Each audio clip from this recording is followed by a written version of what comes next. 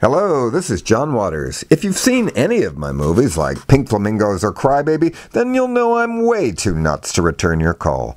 But guess who will? Collector's Shangri-La, a true paradise for anyone passionate about rare autographs, illustration art, and pop culture memorabilia. So leave them a message and they'll get back to you with everything your little heart could ever desire. Bye-bye.